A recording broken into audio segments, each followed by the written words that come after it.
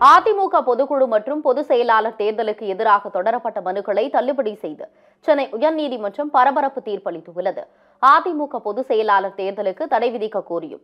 பொதுக்குழு தீர்மானங்களுக்கு எதிராகவும் ஓ. பன்னீர்செல்வம் தரப்பினர் சென்னை உயர்நீதிமன்றத்தில் வழக்கு தொடர்ந்தனர். இந்த வழக்கை நீதிபதி குமரேஷ் பாபு விசாரித்தார். ஓ. பன்னீர்செல்வம் அவரது ஆதரவாளர்களான வைத்தியலிங்கம் மனோஜ் பாண்டியன் ஜேசிடி பிரபாகர் ஆகியோர் தங்கள் தரப்பு வாதங்களை முன்வைத்தனர்.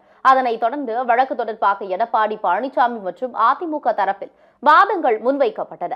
கடந்த இருபத்தி இரண்டாம் தேதி அனைத்து தரப்பு வாதங்களும் நிறைவடைந்த நிலையில் தீர்ப்பு தேதி குறிப்பிடாமல் ஒத்திவைக்கப்பட்டது.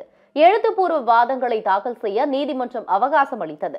அதனைத் தொடர்ந்து கடந்த சில நாட்களுக்கு முன்பு எழுத்துப்பூர்வ வாதங்களும் தாக்கல் செய்யப்பட்டன.